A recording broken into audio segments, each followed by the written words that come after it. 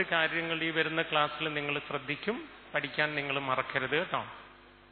ഒന്ന് എന്റെ പേര് രാജൻ എന്നാണെന്ന് നിങ്ങൾ വിചാരിക്കുക. ഒന്നുറക്കെ പറയാവോ? എന്റെ പേരെന്താണ്? അതിന്റെ ഇംഗ്ലീഷ് അർത്ഥം കിങ് എന്നാണ്.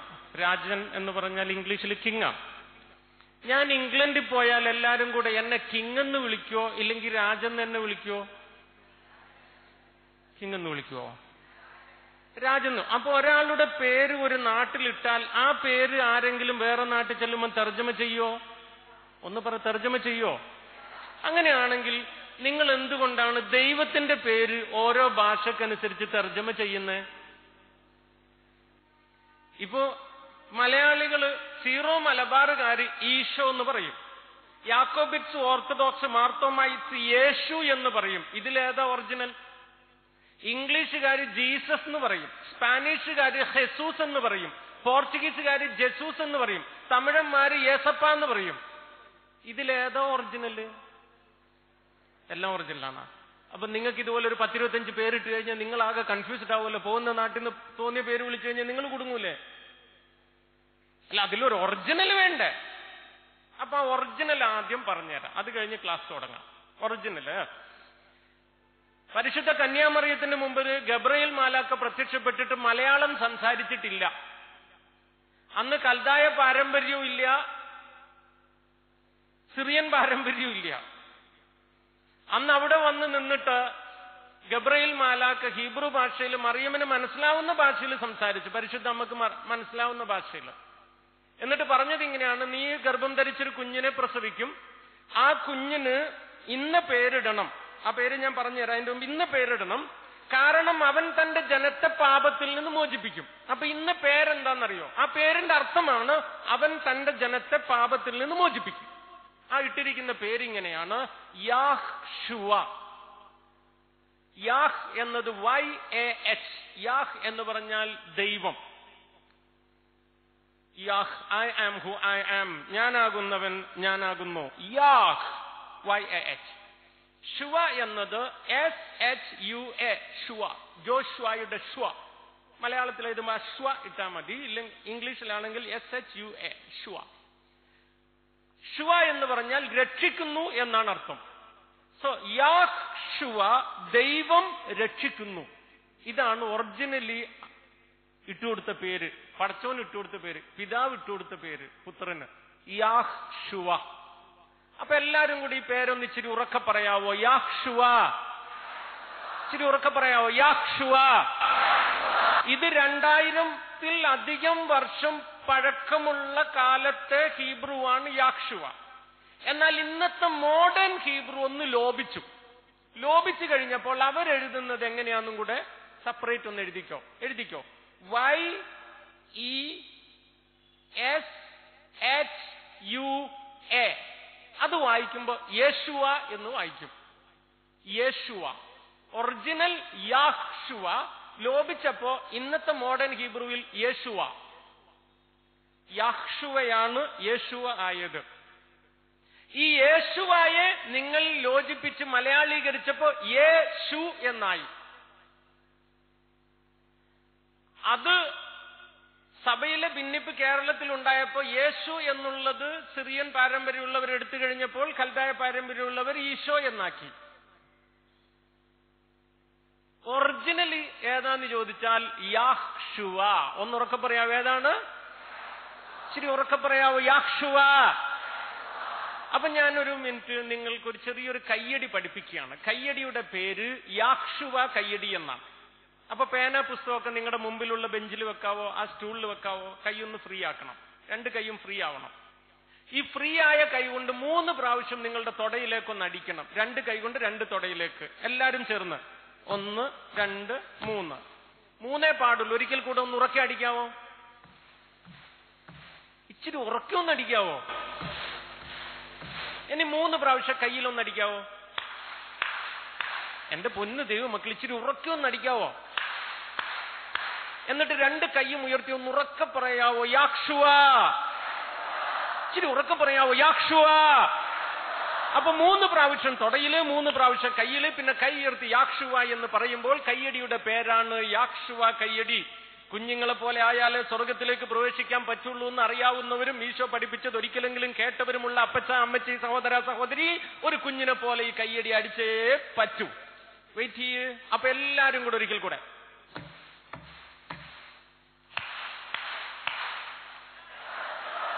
അവിടെ ചില അച്ചായന്മാർ ഒന്നും ചെയ്യുന്നില്ല. പരിസരത്തുള്ള നിങ്ങൾ നിങ്ങളുടെ തുടയിൽ അടിക്കേണ്ട ആ അച്ചായന്റെ തുടക്കിട്ട് അടിച്ചു കൊടുത്താൽ മതി. ഒരാൾ പോലും മാറിയിരിക്കരുത്. ഒരിക്കൽ കൂടി ഇച്ചിരി ഉറക്കി കൊടുത്താട്ടെ.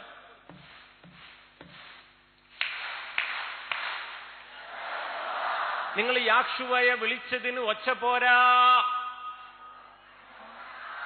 കുറെ നാളുകൾക്ക് മുമ്പ് അതായത് ഒരുപാട് വർഷങ്ങൾക്ക് മുമ്പ് ഞാൻ ആദ്യമായി ധ്യാന കേന്ദ്രത്തിൽ വന്നപ്പോ കേട്ട ഒരു സാക്ഷ്യം പറഞ്ഞോട്ടെ. അങ്ങകലെ ഏതോ ഒരു നാട്ടിൽ ഒരു ഭാര്യയും ഭർത്താവും ജീവിച്ചിരുന്നു. പുതുതായിട്ട് കല്യാണം കഴിച്ചു. നാട്ടുകാരൊക്കെ വിശേഷമുണ്ടോ വിശേഷമുണ്ടോ എന്ന് ചോദിച്ചു. ഒരു വർഷം രണ്ടു വർഷം കഴിഞ്ഞ് വിശേഷമില്ലാണ്ടായപ്പോ മനസ്സിന് വേദനിച്ചു. അങ്ങനെ വിശേഷമില്ലാണ്ടായി ഇവർ കുറെ പള്ളിയിലും ദേവാലയങ്ങളും കയറി ഇറങ്ങിയിട്ട് കരഞ്ഞു പ്രാർത്ഥിച്ചു. ദൈവം കനിഞ്ഞു അവർക്കൊരു കുഞ്ഞിക്കാൽ കിട്ടി. അങ്ങനെ ഒരു കുഞ്ഞിനെ കിട്ടിയ സന്തോഷത്തിൽ നാട്ടുകാരെല്ലാം ഭയങ്കരമായിട്ട് ലഡുവിതരണമൊക്കെ ചെയ്തു. കുഞ്ഞിനെ സന്തോഷിപ്പിച്ചു അപ്പൻ സന്തോഷിച്ചു അമ്മ സന്തോഷിച്ചു. പക്ഷെ മാസം മാറി കഴിഞ്ഞപ്പോഴാണ് മനസ്സിലായത് ഈ കുഞ്ഞ് ജന്മന അന്ധനാണ് ജനിച്ചിട്ട് ഇന്ന് വരെ ആരെയും കണ്ടിട്ടില്ല വെളിച്ചം കണ്ടിട്ടില്ല ഇരുട്ടും കണ്ടിട്ടില്ല ഉമ്മാനെ കണ്ടിട്ടില്ല ബാപ്പാനെ കണ്ടിട്ടില്ല. കൊച്ചന്ധനാന്ന് തിരിച്ചറിഞ്ഞ് മാറ്റുനോറ്റ് കിട്ടിയ കൊച്ചഞ്ച അന്തനാണെന്ന് അറിഞ്ഞതിൽ അപ്പനും അമ്മയും മനസ്സ് വേദനിച്ചു. അങ്ങനെ അവർ ഒരുപാട് ട്രീറ്റ്മെന്റ് നടത്തി. അന്നത്തെ കാലത്ത് ശസ്ത്രക്രിയയില്ല. കണ്ണു മാറ്റിവെക്കാൻ പറ്റിയില്ല. അവയവദാനത്തിനുള്ള പരിപാടി ഒന്നും അന്നില്ലായിരുന്നു അങ്ങനെ ഇരിക്കെ ഇവർക്ക് രണ്ടാമതൊരു കുഞ്ഞിനെ കിട്ടി. മിടുക്കനായിരുന്നു. മൂന്നാമത് കിട്ടി. അതിലും മിടുക്ക്. നാലാമത് കിട്ടി. അതിലും മിടുക്ക്. അങ്ങനെ മിടുക്കരായ കുഞ്ഞുങ്ങളെ മാതാപിതാക്കൾ പഠിപ്പിച്ച് വലുതാക്കുന്ന തിരക്കിൽ അന്ധനായ കുഞ്ഞിന്റെ കാര്യം മറന്നുപോയി. പ്രായപൂർത്തിയായപ്പോഴേക്ക് അവന് കോംപ്ലക്സായി. അപ്പൻ എന്നെ ഇഷ്ടമില്ല അമ്മയ്ക്ക് എന്നെ ഇഷ്ടമില്ല അവർക്കെല്ലാം ചേട്ടാനിയന്മാരെ ഇഷ്ടം ദൈവത്തിന് എന്നെ ഇഷ്ടമില്ല. പൊട്ടനായിട്ട് എന്നെ ജനിപ്പിച്ചു എന്നും പറഞ്ഞ് എല്ലാവരെയും കുറ്റപ്പെടുത്തി വീട്ടിൽ നിന്ന് ഇറങ്ങിപ്പോയി. അങ്ങനെ തെരുവിലൂടെ നടന്നിവനിങ്ങനെ പിച്ച പിച്ച യാചിച്ച് നടക്കുന്ന കാലത്ത് ഡിവൈൻ ധ്യാന കേന്ദ്രത്തിൽ മരിയോത്സവം കൂടിയ ഒരു ബ്രദർ പോയിട്ട് പറഞ്ഞ് എന്റെ പൊന്നന്താ നീ വിഷമിക്കണ്ട? നസ്രത്തിൽ യാക്ഷുവ എന്ന് പറഞ്ഞ ഒരാളുണ്ട്. ആൾ പോകുന്ന വഴിക്ക് എല്ലാ അന്തന്മാരെയും സുഖപ്പെടുത്തുന്നുണ്ടെന്ന. അപ്പൊ ഈ പിച്ചക്കാരനായ അന്തം പറഞ്ഞു എടാ പൊട്ട എനിക്ക് വിശന്നിട്ട് വയ്യ. പറ്റുമെങ്കിൽ ഒരു മസാല ദോശ മേടിച്ച ആ നസ്രത്തിൽ വന്ന ആളുടെ കഥ എനിക്ക് കേക്കണ്ട. നിന്റെ സുവിശേഷം കൊണ്ട് നീ നിന്റെ വഴിക്ക് പോടാ. എനിക്ക് വിശക്കണ. ഈ അന്തനൊന്നും കേട്ടില്ല. നാളുകൾ കുറെ കഴിഞ്ഞിട്ട് ഇയാൾ വേറൊരു സ്ഥലത്ത് പോയിട്ട് പിച്ചയാചിക്കുമ്പോൾ വലിയ ജനക്കൂട്ടത്തിന്റെ തിരക്ക്. അപ്പൊ ഈ അന്ധൻ ജനക്കൂട്ടത്തിന്റെ ഒച്ച കേട്ട് കഴിഞ്ഞപ്പോ ഒരാളോട് പറഞ്ഞു എടാ അവിടെ എന്തോ കല്യാണം നടക്കുന്ന തോന്നുന്ന. ഭയങ്കര ആൾക്കൂട്ടമുണ്ട് ഭയങ്കര വേളുണ്ട് ഒരു ബിരിയാണി മേടിച്ചു കൊണ്ടുവരൂ എനിക്ക് വിശന്നിട്ട് വയ്യ കണ്ണു വയ്യാത്തവനാണേ എന്നും പറഞ്ഞ് പിച്ചയാചിച്ചു അപ്പൊ അയാൾ പറഞ്ഞു എടാ കണ്ണുപൊട്ടനായ പിച്ചക്കാര അവിടെ കല്യാണമില്ല കളവാണില്ല കല്യാണ മണ്ഡപമില്ല നെസ്രായനായ യേശു അതിൽ പോകുന്നുണ്ടെന്നറിഞ്ഞിട്ട് ജനങ്ങളെല്ലാം കൂടെ സൗഖ്യത്തിന് വേണ്ടി പുറകോടിയതാണ് ഇത് കേട്ടപ്പോ നമ്മുടെ അന്തനൊരു ഓർമ്മ വന്നു. പണ്ട് മരിയോത്സവം കൂടി ഒരു ഉപദേശി പറഞ്ഞായിരുന്നു നെസ്രായൻ ആരെ കണ്ടാലും സുഖം കൊടുക്കുന്നു. അപ്പൊ ഈ കണ്ണ് പൊട്ടൻ ശബ്ദം കേട്ട ഭാഗത്തേക്ക് തിരിഞ്ഞിട്ട് ഒരൊറ്റ വിളി യാക്ഷുവോ! ദാവീദിന്റെ പുത്രാന്ന് വിളി കേട്ടപ്പോ എല്ലാരും കൂടെ വന്ന് പറഞ്ഞടാ പൊട്ട! തനിക്ക് കണ്ണ് കാണൂല എന്ന് വിചാരിച്ചിട്ട് യാക്ഷുവക്ക് കാത് കേൾക്കൂല നർത്തൂലോട് പതുക്കെ വിളിയടാ. നീ എന്തിനാണ് ഈ ഒച്ചടുന്ന് പതുക്കെ വിളി. പക്ഷെ ഇവൻ നിർത്തിയില്ല ഒന്നും കൂടെ നെഞ്ച് കലങ്ങി അങ്ങോട്ട് വിളിച്ചു യാക്ഷുവ വിളി കേട്ടതും യാക്ഷുവയുടെ നെഞ്ചുരുകിയിട്ട് ഓടി വന്ന് ഈ അന്തന്റെ തോളത്ത് കൈയങ്ങോട്ട് വെച്ചു. യാക്ഷുവ അന്തന്റെ തോളത്ത് കൈവച്ച പന്തം പറഞ്ഞു ഡേയ് എനിക്ക് കണ്ണ് കാണൂല എന്ന് വിചാരിച്ച് പോക്കറ്റ് അടിക്കണ്ട കൈയെടുത്ത് പോടാ. അപ്പൊ പറഞ്ഞടാ മോനെ നീ വിളിച്ച യാക്ഷുവയാടാ ഞാൻ. ആണോ? എന്നാ കണ്ണ് തുറക്ക് തമ്പുരാനെ എന്ന് യാക്ഷുവാമന്റെ കണ്ണ് തുറന്നു കൊടുത്തു. ഈ ജന്മന അന്ധനായവൻ കണ്ണു തുറന്ന് ആദ്യം കാണുന്നത് അവന്റെ പെറ്റ ഉമ്മയുടെ മുഖമല്ല. പിന്നെയോ സർവശക്തനായ ദൈവത്തിന്റെ ഏക പുത്രൻ യാക്ഷുവയുടെ മുഖമാണ്. കൺകുളിർക്ക അവൻ കാണാനിടയായത് ഇതിന് കാരണം എന്നാന്നറിയോ? അവൻ നെഞ്ച് കലങ്ങി ഒരു വിളി അങ്ങോട്ട് വിളിച്ച് യാക്ഷുവനെ. യാക്ഷുവായിക്കൊരു ഗുണമുണ്ട്. ആരൊക്കെ ഹൃദയം മുരുകി അവനെ വിളിക്കുന്നോ അവരുടെ മുമ്പിൽ യാക്ഷുവ ഓടി വന്നിട്ട് ഒരു ചോദ്യം ചോദിക്കും മോൻ എന്താ വേണ്ടേ? മോക്ക് എന്താ വേണ്ടെന്ന് ചോദിക്കും. ഇവിടെ ഇരിക്കുന്ന നിങ്ങളടുത്ത് വന്ന് ചോദിക്കും മോക്ക് എന്താ വേണ്ടേ? മോൻ എന്താ വേണ്ടേ? അപ്പൊ പറയാം എന്റെ കെട്ടിയോന്റെ കുടിയൊന്ന് നിർത്തി തരണം എന്റെ മോക്ക് നല്ലൊരു കല്യാണാലോചന വേണം. എന്റെ മോന് എം ബി ബി എസിൽ അഡ്മിഷൻ കിട്ടണം. എന്റെ വീടിന്റെ പണിയൊന്ന് പൂർത്തിയാവണം. എന്റെ പശുവിന്റെ അസുഖം മാറി കിട്ടണം. പശുവിന് ഇച്ചിരി കൂടെ പാൽ കിട്ടണം. നിങ്ങൾക്ക് എന്ത് പരാതി ഉണ്ടെങ്കിലും യാക്ഷുവയോട് പറയാം. പക്ഷേ യാക്ഷുവ മുമ്പിൽ എത്തണമെങ്കിൽ ആ അന്തനെ പോലെ നെഞ്ച് കലങ്ങി ഒന്ന് വിളിക്കണം. അത്രേ ഉള്ളൂ. വേറെ ഒന്നും ചെയ്യണ്ട. നിങ്ങളുടെ അതായത് നിങ്ങളുടെ വിളിയുണ്ടല്ലോ. ഒരു അവസാനത്തെ വിളി എന്ന് പറയത്തില്ലേ? ആ വിളി ആയിരിക്കണം. അതുകൊണ്ട് ഇനി ഈ ക്ലാസ് തീരുന്നത് വരെ ഇടക്കിടക്ക് യാക്ഷുവ കയ്യടി എന്ന് പറയുമ്പോൾ മാക്സിമം ഉറക്കെയായിരിക്കണം. ഒരിക്കൽ കൂടെ എല്ലാവരും ചേർന്ന് മാക്സിമം ഉറക്കെ ഒരു യാക്ഷുവ കയ്യടി കൊടുക്കാവോ?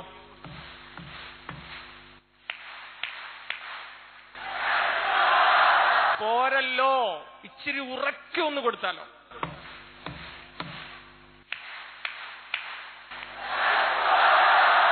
ഒന്നും കൂടി ഇച്ചിരി ഉറക്കെ ഒന്ന് കൊടുത്താൽ ആമേൻ. ഇച്ചിരി ഉറക്കെ പറയാം. ആമേൻ. ഇതിന്റെ മുമ്പ് ഒരിക്കലും എന്നെ കണ്ടിട്ടില്ലാത്തവർ അതായത് ഈ മാറിയോ ജോസഫ് എലിയ സുലൈമാൻ ഇബിൻ അഹമ്മദ് ദാരിമിയെ ജീവിതത്തിൽ ഇന്ന് വരെ കണ്ടിട്ടില്ല. ആദ്യമായിട്ട് ഇപ്പൊ ധ്യാന ഹാളിൽ ഇരുന്ന് കാണുന്നവർ ആരെങ്കിലും ഉണ്ടെങ്കിൽ ഒന്ന് വലത് ഉയർത്താവോ ആ ഒത്തിരി പേരുണ്ടാ. ഓ കൈതാത്തിട ഞാനൊരു മുസ്ലിം കുടുംബത്തിലാണ് ജനിച്ചേ. മുസ്ലിമീങ്ങൾ പരസ്പരം കണ്ടു കഴിഞ്ഞാൽ ഗ്രീറ്റ് ചെയ്യുന്നത് അസ്സലാമു അലൈക്കും എന്നാണ്. മറുപടി പറയാവോ? നിങ്ങളെല്ലാം മുസ്ലിങ്ങളായിരുന്ന. മുസ്ലിങ്ങൾ തോറ്റുപോകും ഇവരുടെ മറുപടി കിട്ടുകഴിഞ്ഞാൽ അസ്സലാമു അലൈക്കും എന്നത് മൂന്ന് അറബി വാക്കാണ്. അൽ സലാം അലൈക്കും. അൽ ദി ആണ് അത് ദൈവത്തെ സൂചിപ്പിക്കുകയാണ്. ദൈവം. സലാം എന്നത് സമാധാനം. അലൈക്കും എന്നത് നിങ്ങളോടുകൂടെ. അപ്പൊ ശരിക്കും ഇതിന്റെ അർത്ഥം ദൈവത്തിന്റെ സമാധാനം നിങ്ങളോടുകൂടെ. മറുപടി അലൈക്കുമുസ്സലാം എന്ന് പറയുമ്പോൾ അങ്ങയോടും കൂടെ. ഒന്നുറക്കെ പറയാം എന്താണ് അർത്ഥം? ഇത് മുസ്ലിമീങ്ങളുടേതായിട്ട് നിങ്ങൾക്കറിയുള്ളൂ. എന്നാൽ മുസ്ലിമീങ്ങൾക്ക് മുമ്പ് ഉണ്ടായിരുന്നല്ലോ ഹിന്ദുമതം അങ്ങനെയാണ് ചരിത്രം പറയുന്നത്. അവർക്കും ഇതുണ്ടായിരുന്നു. എങ്ങനെയാണെന്നറിയോ? ഓം ശാന്തിഹി. ഓം ദൈവം ശാന്തി സമാധാനം ഹി നിങ്ങളോടുകൂടെ. അപ്പൊ ഈ അസ്ലാം വലൈക്കും മുസ്ലിമിന്റെ മാത്രമൊന്നും അല്ല കേട്ടാ ഹിന്ദുവിന്റെ കയ്യിലുണ്ടായിരുന്ന സാധന ഓം ശാന്തി. ഓം ശാന്തി ഓശാന അല്ല ഓം ശാന്തി. ഓക്കെ. ഇനി നിങ്ങൾ വിചാരിക്കും ഇവരുടെ കയ്യിൽ എന്നാ യഹൂദന്മാരുടെ കയ്യിൽ ഇതിന്റെയും മുമ്പ് ഇതുണ്ടായിരുന്നു. ഒരു യഹൂദൻ വേറൊരു യഹൂദനെ കണ്ടാൽ പറയുന്നത് ഷലോം ലഹിം എന്നാണ് ഇപ്പൊ പറയാ. അതിനർത്ഥം നിങ്ങൾക്ക് സമാധാനം. പണ്ട് അവർ പറഞ്ഞത് ഏൽ ഷലോം അലൈഹം എന്നാണ്. ഏൽ ദൈവം ഷലോം സമാധാനം അലൈഹം നിങ്ങളോടുകൂടെ അപ്പൊ ഇനി നിങ്ങളൊന്ന് ശ്രദ്ധിച്ചു കേട്ടെ. ഒരു മുസ്ലിമിന്റെയും ഹിന്ദുവിന്റെയും യഹൂദന്റെയും ഗ്രീറ്റിംഗ് നിങ്ങൾക്ക് സമാധാനം എന്നാണ്. ഇച്ചിരി ഉറക്കെ പറയാം എന്താണ് ഗ്രീറ്റിംഗ്? ക്രിസ്ത്യാനിയുടെ ഗ്രീറ്റിംഗ് എന്താണ്? പ്രൈസ്തലോട് ഈശോമിഷയ്ക്ക് സ്തുതി. ഹാലലൂയ. ബൈബിളിൽ ഉൽപ്പത്തി മുതൽ വെളിപാട് വരെ എഴുപത്തിമൂന്ന് പുസ്തകത്തിൽ മുപ്പത്തിയേഴായിരത്തിലധികം വചനമുണ്ട്. ഏതെങ്കിലും ഒരു വചനത്തിൽ നിങ്ങൾ വേറൊരാളെ കാണുമ്പോൾ പ്രൈസ്തലോടെന്ന് ഗ്രീറ്റ് ചെയ്യാൻ കൽപ്പിച്ച ഒരു വചനം കാണിച്ചാൽ എന്റെ സ്വത്ത് മുഴുവൻ നിങ്ങളുടെ പേരിൽ എഴുതി തരാം എന്നാൽ ഈശോ പഠിപ്പിച്ചത് എന്താന്ന് പറഞ്ഞുതരാം. യോഹന്നാന്റെ സുവിശേഷം ഇരുപതിന്റെ പത്തൊമ്പത്. ഉയർത്തെഴുന്നേറ്റ കർത്താവ് ശിഷ്യന്മാരെ കണ്ടപ്പോൾ ആദ്യം പറഞ്ഞു ഷലോം അലൈഹം നിങ്ങൾക്ക് സമാധാനം. യോഹന്നാൻ പതിനാലിന്റെ ഇരുപത്തിയേഴ് ഞാൻ സ്വർഗത്തിലേക്ക് പോവുകയാണെന്ന് പറഞ്ഞ് ടീഷോ പറഞ്ഞു എന്റെ സമാധാനം നിങ്ങൾക്ക് തരുന്നു. ലൂക്കായുടെ സുവിശേഷം പത്താം അധ്യായത്തിന്റെ അഞ്ചാം വാക്യം ഈശോ ശിഷ്യന്മാരോട് പറഞ്ഞു നിങ്ങൾ ഏതെങ്കിലും വീട്ടിൽ കയറി ചെന്നാൽ ആദ്യം പറയണം ഈ വീട്ടിന് സമാധാനം. നിങ്ങളൊരു ക്രിസ്ത്യാനിയാണെങ്കിൽ ഒരാളെ കണ്ടാൽ ആദ്യം പറയണം നിങ്ങൾക്ക് സമാധാനം. പോകുമ്പോൾ പറയണം സമാധാനത്തോടെ പോകാം. ഒരു വീട്ടിൽ ചെല്ലുമ്പോൾ പറയണം ഈ വീട്ടിന് സമാധാനം. പക്ഷെ ഇന്ന് വരെ നിങ്ങളത് ചെയ്തിട്ടില്ല. കാരണം എന്നാ? സമാധാനം ഉണ്ടെങ്കിലല്ലേ വേറൊരാളോട് നിങ്ങൾക്ക് സമാധാനം എന്ന് പറയാൻ പറ്റുള്ളൂ. പിന്നെ പോകാൻ നേരത്ത് സമാധാനത്തോടെ പോകാന്ന് പറയില്ല. ബൈ ബൈ എന്നേ പറയുള്ളൂ. കാരണം എന്താ അങ്ങനെ പറയാത്ത? നിങ്ങൾ ഒരുത്തിന്റെ അടുത്ത് പോകുന്ന ഒരിക്കലും സമാധാനത്തോടെ അല്ല കാര്യം ഒരാളെ കണ്ട് കുറച്ചു നേരം മിണ്ടിയിട്ട് അങ്ങോട്ട് മാറിയാൽ മൂന്നാമത് ഒരുത്തനോട് ആദ്യം കണ്ടവന്റെ കുറ്റം പറയാണ്ട് നമുക്കന്ന് ഉറങ്ങാൻ പറ്റിയല്ല. ഇപ്പൊ ഇന്നിപ്പോ ഒരു മണിക്കൂർ ഞാൻ ക്ലാസ് എടുത്ത് ഇവിടുന്ന് അങ്ങ് ഇറങ്ങിപ്പോയാൽ നിങ്ങൾ കാപ്പി പിടിക്കാൻ പോയിരുന്നിട്ട് എന്നാലും ആ മേത്തൻ അത്രയും കടുപ്പിച്ച് പറയണ്ടായിരുന്നു. ഇതേ നിങ്ങൾ പറയുള്ളൂ. നമ്മുടെ സ്വഭാവമാണ് ഞാൻ പറഞ്ഞത് അല്ലേ? അതുകൊണ്ട് നമുക്ക് സമാധാനത്തോടെ ആരുടെ പോകാൻ പറ്റില്ല. ബൈ ബൈയെ പറയാൻ പറ്റുള്ളൂ. ഇനി നമ്മളൊരു വീട്ടിൽ കയറി ചെന്നാൽ ഈ വീട്ടിന് സമാധാനം എന്ന് ഒരിക്കലും പറയല്ല. കാരണം നമ്മളൊരു വീട്ടിൽ കയറുന്നത് അവർക്ക് സമാധാനം ഉണ്ടാക്കി കൊടുക്കാനല്ല അവരുടെ ഉള്ള സമാധാനം നശിപ്പിച്ചിട്ട് പോരാനാ. നമ്മുടെ കാലൊരു വീട്ടിൽ വെച്ചാൽ അവരുടെ സമാധാനം അതുകൊണ്ട് ഇല്ലാണ്ടായി. അതുകൊണ്ട് ദൈവത്തിന്റെ കുഞ്ഞുമക്കളോട് ഒരു കാര്യം പറഞ്ഞോട്ടെ. ഇന്ന് മുതൽ നിങ്ങൾ ഇനി ആരെ കണ്ടാലും ആദ്യം ഗ്രീറ്റ് ചെയ്യണം നിങ്ങൾക്ക് സമാധാനം. ഓക്കെ? ഈശോയുടെ ഭാഷയിൽ അതും കൂടെ പഠിച്ചോ. യാക്ഷുവ പഠിച്ച സ്ഥിതിക്ക് ഇതും കൂടെ ഒന്ന് പഠിച്ചോ. Shalom. Shalom. ഷാലോമിന്റെ spelling S H A L O M. Shalom. അതിന്റെ അർത്ഥം സമാധാനം. നിങ്ങളോട് കൂടെ എന്നത് ഹീബ്രുവിൽ എങ്ങനെയാണെന്നറിയോ? അലൈഹെം എന്നാണ്. അലൈഹെം. അതിന്റെ spelling A L A I C H E M. A L A I C H E M. Aleichem. നമ്മൾ മലയാളത്തിൽ ചിലപ്പോൾ മലയാളികൾ ഹ പറയാൻ ബുദ്ധിമുട്ടുള്ളതുകൊണ്ട് കെ എന്ന് പറയും. അലൈഖെം എന്ന് പറയും. കുഴപ്പമില്ല.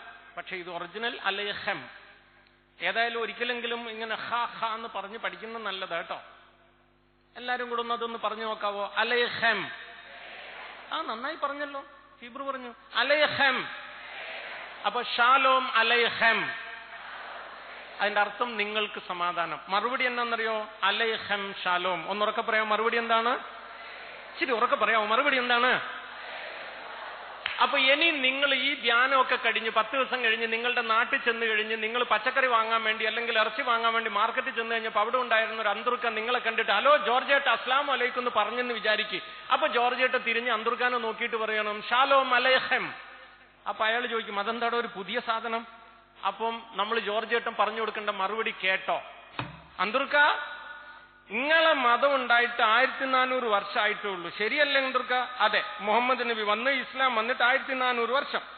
ഞങ്ങളെ മതം ഉണ്ടായിട്ട് രണ്ടായിരം വർഷം പഴക്കമുണ്ട്. അറിയാവോ നിങ്ങൾക്ക്? അപ്പൊ ഇങ്ങളെക്കാളും അറുന്നൂറ് വർഷം മൂത്ത ഇക്കാക്കന്മാരാണ് ഞങ്ങൾ സത്യാണോ? അതെ. എന്നാ ഞാനൊരു കാര്യം പറഞ്ഞോട്ടെ. ഞങ്ങൾ പണ്ട് പറഞ്ഞുകൊണ്ടിരുന്ന ഗ്രീറ്റിംഗ് ആണ് ഷാലോം അലൈഹം അലൈഹം ഷാലോം എന്നത്. ഞങ്ങളത് മറന്നുപോയപ്പോ നിങ്ങൾ കട്ടുകൊണ്ടുപോയിട്ട് പോളിഷ് ചെയ്തിട്ട് അസ്ലാം അലൈക്കും അലൈക്കും സലാം നാക്കിയതാ സത്യത്തിൽ സ്വത്ത് ഞങ്ങളുടേതാണ് അന്തുർക്ക തിരിച്ചു തരേണ്ട സമയമായി.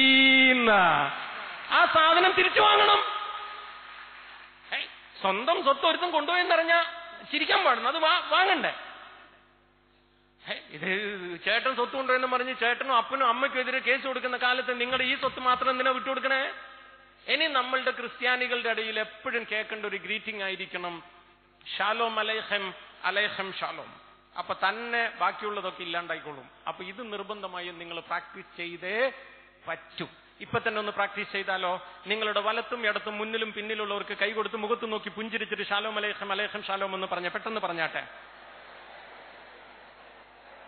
പെട്ടെന്ന് പെട്ടെന്ന് ആയിക്കോട്ടെ മലയാളിയുടെ സമാധാനം കൊള്ളൂല ബ്രദറെ. ഒരു ചേട്ടൻ അടുത്തുള്ള "ഞാൻ- ഇങ്ങനെ ഇങ്ങനെ സമാധാനം പറഞ്ഞാൽ അടുത്തുള്ള ചേട്ടന്റെ സമാധാനം ചത്തു. സമാധാനം കൊടുക്കുമ്പോൾ ചെറിയൊരു പുഞ്ചിരി വേണം. കാരണം പുഞ്ചിരി പകരുന്ന സാധനമാണ്. നിങ്ങൾ ഒരാളെ നോക്കി രണ്ട് പല്ല് പുറത്തിട്ട് പുഞ്ചിരിച്ചാൽ അവർ നാല് പല്ല് പുറത്തിട്ട് തിരിച്ചിരിക്കും.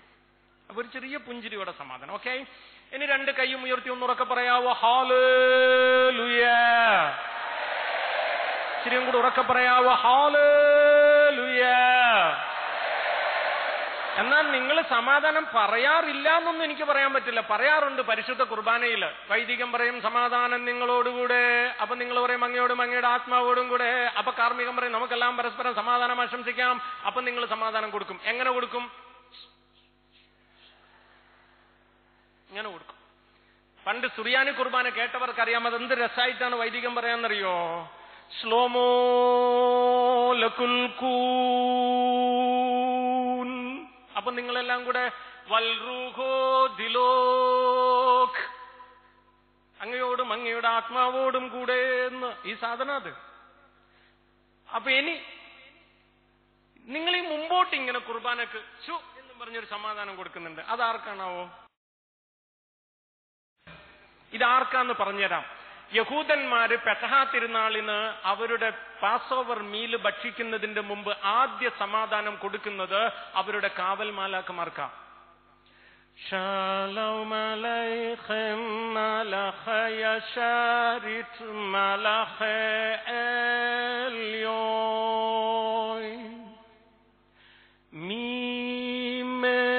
Melech Malchi Melachim Hakadosh Baruch Hu ഷാലോം അലൈഹം നിങ്ങൾക്ക് സമാധാനം. മാൽഹയ്യഷാരിറ്റ് എന്റെ കാവൽ മാലാക്കമാരേന്ന് ഇവിടെ മരിയോത്സവം ടൂ തൗസൻഡ് സിക്സ്റ്റീന് വന്ന നിങ്ങൾക്ക് കാവൽ മാലാക്കമാരുണ്ടോ ഇച്ചിരി ഉറക്കെ പറയാവോ? ഉണ്ടോ? നിങ്ങളുടെ ഇടത്തും വലത്തും മുന്നിലും പിന്നിലും മേലെയും താഴെയുമായിരുന്ന് സകല പൈശാചിക ഉപദ്രവത്തിൽ നിന്ന് നിങ്ങളെ കാക്കുന്ന കാൽ കല്ലിൽ തട്ടാണ്ട് സംരക്ഷിക്കുന്ന കൊളസ്ട്രോൾ കൂടാണ്ട് ഷുഗർ കുറയാണ്ട് ക്യാൻസറിന്റെ മുഴ വരാണ്ട് ആക്സിഡന്റ് ആകാതെ മക്കൾ പിഴച്ചു പോകാതെ ഭർത്താവ് പിഴച്ചു പോകാതെ നിങ്ങളെ സംരക്ഷിക്കുന്ന കാവൽമാലാക്ക നിങ്ങൾക്കുണ്ടോ? ഇപ്പൊ ഇവിടെ ഈ അഞ്ചു ദിവസം അരിയോത്സവത്തിന് പങ്കെടുത്തിട്ട് ഏതെങ്കിലും ഒരു ദിവസത്തെ കുർബാനയിൽ നിങ്ങളുടെ കൂടെയുള്ള സെക്യൂരിറ്റിയായ കാവൽമാലാക്കിയോട് സമാധാനം പറഞ്ഞിട്ടുണ്ടോ? ഇല്ലെന്ന് പറയാൻ നാണോ ഇല്ലേ? നന്റി മറപ്പത് നൻറന്റ് നൻറല്ലത് നൻറെ മറപ്പത് നന്റ്. ചെറു പറഞ്ഞതല്ല തമിഴ് പറഞ്ഞതാ.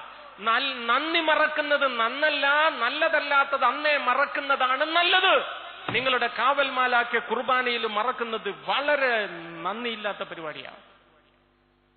എല്ലാവർക്കും സമാധാനം കൊടുത്ത് സ്വന്തം സെക്യൂരിറ്റി കൂടെയുണ്ട്. ആളോട് മാത്രം ഒന്ന് പറഞ്ഞില്ല. വിഷമമുണ്ടിട്ടാ. ഇനി അടുത്തത്. കത്തോലിക്ക സഭയുടെ മതബോധന ഗ്രന്ഥം രണ്ടായിരത്തി ഒരുന്നൂറ്റി അമ്പത്തി ആറാമത്തെ പാരഗ്രാഫ്. രണ്ടായിരത്തി ഒരുന്നൂറ്റി അമ്പത്തി ആറ് മാതാപിതാക്കൾ മക്കൾക്ക് ഏത് പേര് കൊടുത്താലും സഭക്ക് കുഴപ്പമില്ല. ഇഷ്ടമുള്ള പേരിട്ടോ. പക്ഷേ മാമോദിസ സ്വീകരിക്കുന്നവൻ സഭയിൽ വീണ്ടും ജനിക്കുന്നത് കൊണ്ട് സഭ വേറെ ഒരു പേര് കൊടുക്കും. അതിന് നമ്മൾ മാമോദിസ പേരെന്ന് പറയും. അതൊരു വിശുദ്ധന്റെയോ വിശുദ്ധയുടെയോ പേരായിരിക്കും. എന്നിട്ട് എന്താ പറഞ്ഞത്? അങ്ങനെ ഒരു പേര് നിങ്ങൾക്കുണ്ടെങ്കിൽ നിങ്ങൾ എന്ന് കുർബാനക്ക് പോയാലും സമാധാനം പറയുമ്പം ആ വിശുദ്ധരെ ഒന്ന് ഓർക്കണം. ഇപ്പൊ എന്റേത് മാറിയോ ജോസഫാ പരിശുദ്ധ അമ്മയും ഔസപിതാവുമാ. ഞാൻ മുമ്പോട്ട് സമാധാനം പറയുമ്പോൾ നിങ്ങൾക്ക് സമാധാനം. എന്റെ കാവൽമാലാക്കമാരെ എന്റെ നാമതേ വിശുദ്ധരെ എന്ന് പറയുമ്പോൾ അമ്മയോടും ഔസപിതാവിനോടും. അവർക്ക് സമാധാനം ഇല്ലാത്തതുകൊണ്ടൊന്നല്ല ഞാൻ കുർബാനയിൽ അവരെ ഒന്ന് ഓർക്കുന്നതാണ് അല്ലെങ്കിലും നിങ്ങൾ സമാധാനം പറയുന്നത് എങ്ങനെയാ? ഓക്കെ അപ്പൊ നമ്മൾ ഇനി മുതൽ നിങ്ങൾ എന്ന് കുർബാനക്ക് പോയാലും സമാധാനം പറയും അവരോട് പറയണം. ഇതേ ഈ നടുവിലിരിക്കുന്ന രണ്ട് വര വരച്ചിട്ട് ഒരു സ്ഥലം ഒഴിവാക്കിയിട്ടുണ്ടോ? എല്ലാ പള്ളിയിലും നടുവിൽ ഇങ്ങനെ മാറ്റിയിട്ട സ്ഥലമുണ്ട്. ഞാൻ ക്രിസ്ത്യാനിയാവുന്ന കാലത്ത് സജി എന്ന് പറയുന്ന ഒരു ക്രിസ്ത്യാനിയോട് ചോദിച്ചു ഇതെന്തിനാ എല്ലാ പള്ളിയിലും നടുവിൽ വ്യത്യസ്തമായ കാർപ്പറ്റ് ടൈൽ വരയൊക്കെ? എന്ന് ചോദിച്ചു. അപ്പൊ പറഞ്ഞു അത് അച്ഛന് നടക്കാനുള്ള സ്ഥലമെന്ന് പറഞ്ഞു. ഞാൻ അങ്ങനെ വിശ്വസിച്ചു അച്ഛന്മാർക്ക് നടക്കാൻ വേണ്ടി സ്പെഷ്യൽ സ്ഥലം പള്ളിക്കകത്തുനിന്ന്. കാലം കുറെ കഴിഞ്ഞപ്പോഴാണ് എ ഡി എഴുപത്തിരണ്ടിൽ എഴുതപ്പെട്ട ഡിഡാഖ എന്നൊരു പുസ്തകത്തെക്കുറിച്ച് പഠിക്കാനിടയായത്. അതായത് പള്ളി പണിയേണ്ട നിയമാവലിയെക്കുറിച്ച് അന്നത്തെ പാത്രിയാർക്കിസ്മാർ എഴുതി വെച്ച ഗ്രന്ഥം. അതിനകത്ത് പറയാണ് പള്ളിയുടെ ഒരു വിങ് ആർക്ക് മറ്റേ വിങ് ആർക്ക് നടുവിൽ ആർക്ക് ബെഞ്ച് ആർക്ക് എല്ലാം ഇങ്ങനെ വ്യാഖ്യാനിച്ചിട്ട് പറയാണ് പള്ളിയിൽ സെക്രാരിയോട് ചേർന്ന് ഇങ്ങനെ നടുവിൽ വരുന്ന ഭാഗം മനുഷ്യർ പള്ളിയിൽ വരുമ്പോൾ അവരുടെ കാവൽ മാലാക്കന്മാരും വിശുദ്ധരും വരും. അവർക്ക് വേണ്ടി വി ഐ പി സീറ്റായിട്ട് മാറ്റിയിടണമെന്ന് പറഞ്ഞതുകൊണ്ടാണ് ഇങ്ങനെ മാർക്ക് ചെയ്ത് മാറ്റിയിട്ടിരിക്കുന്നത്. എന്നിട്ട് എന്തെങ്കിലും പള്ളിയിൽ പോയിട്ട് ആ ഭാഗം നോക്കിയിട്ട് എന്റെ മാലാക്കന്മാരെ എന്റെ വിശുദ്ധരെ എനിക്ക് വേണ്ടി പ്രാർത്ഥിക്കണമെന്ന്. അങ്ങനെ ഒരു പരിപാടി നമുക്കില്ലല്ലോ. എന്നിട്ട് ഇപ്പം നിങ്ങൾ ഏത് വിശുദ്ധരുടെ പുറയാ പോകുന്നേ? ടെലിവിഷൻ വിശുദ്ധന്മാർ. ഈ അടുത്തിടക്ക് ഒരു ബന്ധക്കോസ് പാസ്റ്ററിന്റെ ക്ലാസ് കേട്ടതാണ്. പരിശുദ്ധ അമ്മ എന്നൊന്നും പറയുന്നില്ല. മറിയമ്മന്റെ മാധ്യസ്ഥ യാചിക്കാൻ പാടില്ല. നിങ്ങൾ അവശപിതാവിന്റെ മാധ്യസ്ഥം യാചിക്കരുത്. ഒരു വിശുദ്ധരുടെയും മാധ്യസ്ഥ യാചിക്കരുത്. അതെല്ലാം മഹാപഭാവമാണ് അതായത് ഇങ്ങനെ കുറേ പറഞ്ഞിട്ട് അവസാനം അയാൾ പറഞ്ഞു നിങ്ങൾക്ക് എന്തെങ്കിലും പ്രാർത്ഥനാ സഹായം ആവശ്യമുണ്ടെങ്കിൽ എനിക്ക് എഴുതണം. ഞാൻ നിങ്ങൾക്ക് വേണ്ടി പ്രാർത്ഥിച്ചോളാം. അതിന്റെ സെൻസ് ഒന്ന് ആലോചിച്ചൊക്കെ വേറെ ആരോടും പ്രാർത്ഥിക്കരുത്. ഞാൻ അവരെക്കാളൊക്കെ വലിയ ആളാണ്. ഞാൻ പ്രാർത്ഥിച്ചോളാം. എന്നിട്ട് അയാൾ പറഞ്ഞു നിങ്ങൾ ആ കൂട്ടത്തിൽ ഞങ്ങൾക്ക് ഇത്ര ഇത്ര സാമ്പത്തിക ബാധ്യതയുണ്ട് ചെക്കോ കാശോ അയച്ചു തന്നാൽ അത് കൂടുതൽ സന്തോഷം. റിയലായുള്ളവരെ വിട്ടിട്ട് ഫേക്കായുള്ളവരുടെ പുറകെ പോകുന്ന ഒരു കാലമാണ് ഇപ്പോ. ഇവിടെ മരിയോത്സവം അറ്റൻഡ് ചെയ്ത നിങ്ങൾ ഇന്ന് മുതൽ ഇനി എന്ന് കുർബാനക്ക് പങ്കെടുത്താലും മുമ്പോട്ട് ഇങ്ങനെ സമാധാനം പറയുമ്പോൾ കാവൽ മാലാക്കെ നിങ്ങളുടെ വിശുദ്ധരെ ഓർക്കണം. ഏത് പള്ളിയിൽ പോയാലും ഈ നടുവിൽ നോക്കി അവരോട് പ്രാർത്ഥിക്കാൻ വേണ്ടി പറയുകയും ചെയ്യണം. അങ്ങനെ ചെയ്താലുള്ള ഗുണം പറയാം. കുറെ നാളുകൾ മുമ്പ് ഒരു ദിവസം ഞാൻ ഇങ്ങനെ ഈ ടോക്ക് എന്റെ മൊബൈലിൽ റെക്കോർഡ് ചെയ്തിട്ട് നേരെ ഞാൻ അങ്ങോട്ട് അപ്ലോഡ് ചെയ്തു എന്റെ യൂട്യൂബ് ചാനലിൽ ചില ദിവസങ്ങൾ കഴിഞ്ഞപ്പോൾ എനിക്കൊരു മെയിൽ വന്നു. മെയിൽ വന്ന് ദാനാകാന്തോസ് കാത്തലിനോ എന്ന് പറയുന്ന ലാറ്റിൻ അമേരിക്കയായ പെറുവിൽ നിന്ന് ഒരു ആഫ്രിക്കൻ വംശജയായ സ്ത്രീയാണ്. അവർ പറഞ്ഞു ഞാൻ കഴിഞ്ഞ നാൽപ്പത് വർഷമായി ഒരു ദിവസം പോലും കുർബാന മുടങ്ങാത്ത ഒരു സ്ത്രീയാണ്. എനിക്ക് പക്ഷെ അറിയില്ലായിരുന്നു കാവൽ മാലാക്ക് വിശുദ്ധർക്ക് സമാധാനം കൊടുക്കേണ്ടത്. അന്ന് ആദ്യമായി നിങ്ങളുടെ ക്ലാസ് യൂട്യൂബിൽ നിന്ന് കേട്ടപ്പോൾ എനിക്കിത് മനസ്സിലായി. ഞാൻ അന്ന് കുർബാനക്ക് പോയി നിന്ന് എന്റെ കാവൽ മാലാക്കും വിശുദ്ധർക്കും അന്ന് സമാധാനം പറഞ്ഞു സമാധാനം പറയുന്ന സമയം ബ്രദർ അത്ഭുതമെന്ന് പറയട്ടെ. എഴുപത് വർഷം ഭൂമിയിൽ ജീവിച്ച ഞാൻ അന്നാദ്യമായി എന്റെ സ്വപ്നത്തിൽ എന്റെ നാമധേയ വിശുദ്ധ സെയിന്റ് ആനിനെ കാണാൻ ഇടയായി. ജീവിതത്തിൽ ഒരിക്കലും നിങ്ങളുടെ നാമധേയ വിശുദ്ധയെ വിശുദ്ധരെ സ്വപ്നത്തിലെങ്കിലും ഒന്ന് കാണണമെങ്കിൽ സ്വർഗവും ഭൂമിയും ഒന്നാകുന്ന നിമിഷമായ പരിശുദ്ധ കുർബാനയിൽ അവർ ഓർക്കണം. സ്വർഗവും ഭൂമിയും ഒന്നാകുന്ന പരിശുദ്ധ കുർബാനയിൽ അവരെ ഓർക്കണം. അതെന്താ ഞാൻ അങ്ങനെ സ്വർഗവും ഭൂമിയും ഒന്നാകുന്ന എന്ന് പറഞ്ഞ് പരിശുദ്ധ കുർബാന തുടങ്ങുന്നത് മുതൽ അവസാനം വരെ എല്ലാം ഇമ്പോർട്ടന്റ് ആണെങ്കിലും ഏറ്റവും ഇമ്പോർട്ടന്റ് ആയി മനസ്സിലാക്കേണ്ട ഭാഗം ഏതാണെന്നറിയോ? കുർബാനയിൽ വൈദികൻ ഇച്ചിരി വീഞ്ഞിനകത്ത് ഒരു തുള്ളി വെള്ളം എടുത്ത് മിക്സ് ചെയ്യുന്ന ഒരു സമയമുണ്ട്. ഈ വെള്ളം എന്തിനെ പ്രതിനിധീകരിക്കുന്നു എന്നറിയോ നിങ്ങൾക്ക്? രണ്ടർത്ഥത്തിലാണ്. നമ്മളിപ്പോ ലാറ്റിൻ പാരമ്പര്യം എടുക്കാം സീറോ മലബാർ പാരമ്പര്യം എടുക്കാം. അത് ഹൃദയത്തിന് പുറത്തിറങ്ങിയ വെള്ളവും രക്തവുമായിട്ട് പഠിപ്പിക്കുന്നവരുണ്ട് ഇല്ലെന്ന് ഞാൻ പറയുന്നില്ല. പക്ഷേ സഭയുടെ പഠനമനുസരിച്ച് അതാ എന്താണെന്നറിയോ നിങ്ങൾക്ക്? ഈ വീഞ്ഞ് കർത്താവും വെള്ളം മനുഷ്യരുമാണ്. വീഞ്ഞ് കർത്താവും വെള്ളം മനുഷ്യരുമാണ്. എന്നിട്ട് ആ വെള്ളത്തെ എടുത്ത് വീഞ്ഞിൽ മിക്സ് ചെയ്യുമ്പോ ലത്തീൻ കുർബാനയിൽ പറയുന്ന വാക്ക് നിങ്ങൾ ശ്രദ്ധിക്കണം. നീ ഞങ്ങളുടെ മനുഷ്യ സ്വഭാവം സ്വീകരിച്ചതുപോലെ ഞങ്ങൾ നിന്റെ ദൈവീക ജീവനിൽ പങ്കാളികളാകുന്നു. നീ ഞങ്ങളുടെ മനുഷ്യജീവനിൽ പങ്കാളികളായതുപോലെ ഞങ്ങൾ നിന്റെ ദൈവീക ജീവനിൽ പങ്കാളികളാകുന്നു.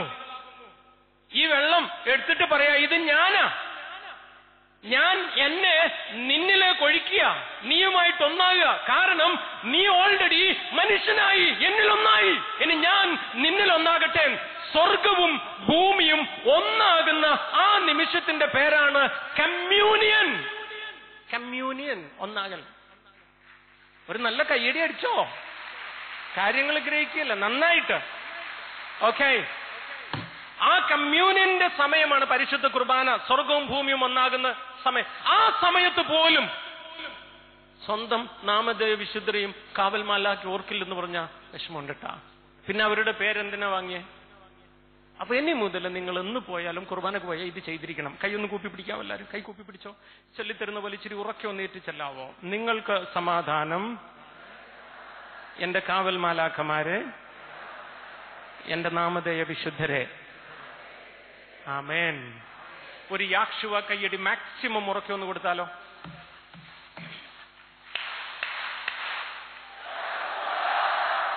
മാക്സിമം ഉറക്കൊന്നും കൂടെ കൊടുത്താലോ?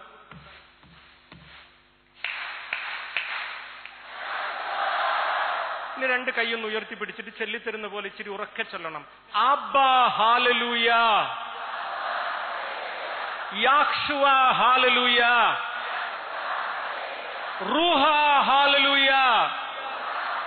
ഇച്ചിരി ഉറക്കെ പറയാവ അബ്ബാ ഹാലലൂയ. യാക്ഷുവ ഹാലലൂയ. റൂഹ ഹാലലൂയ.